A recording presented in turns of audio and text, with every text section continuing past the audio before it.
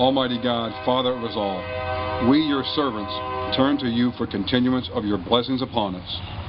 You who have spared us veterans from the grasp of our enemies, grant us a full understanding of your precious comfort.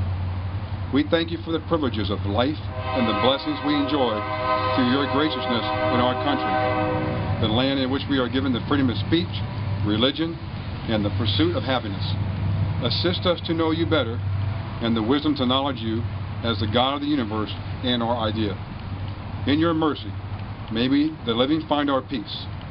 Grant us from above this day the challenge of high endeavor, the beauty of a humble spirit, the strong courage and will, without exertion, to continue to glorify you, to praise you, and to love you to the end of time. Amen. I pledge allegiance to the flag of the United States of America and to the republic for which it stands, one nation, under God, indivisible, with liberty and justice for all.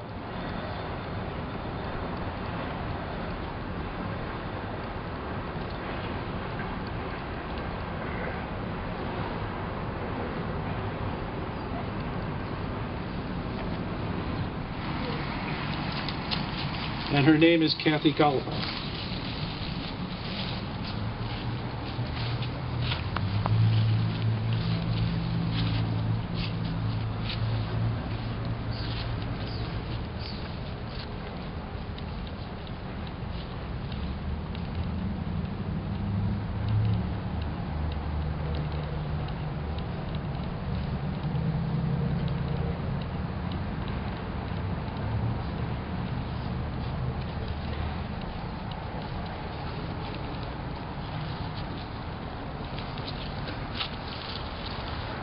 Thank you, Kat.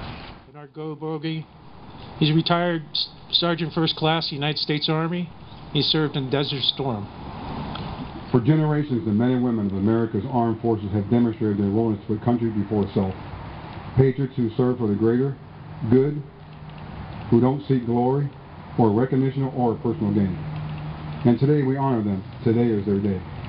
Our nation honors the contributions and sacrifices of the nearly 22 million veterans living today and all those who made the ultimate sacrifice in the name of liberty and justice. Today holds great historic and patriotic significance.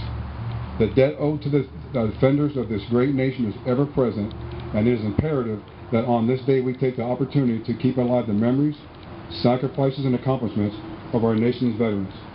And it should be a day that we give appropriate thanks and recognition to those who have earned it. Today is not a day for veterans alone. It is a day for all Americans to be a part of because we all have a role to play in protecting liberty and freedom. Service members alone should not have to go at it without the support of a grateful nation. And your presence here provides meaningful proof that you appreciate the fact that the freedom we enjoy today is not free. Every citizen, each person here today has a role to play in carrying the, the legacy and burden of freedom. And each citizen must work to ensure that America fulfills its promise to provide our veterans with the benefits and entitlements they earn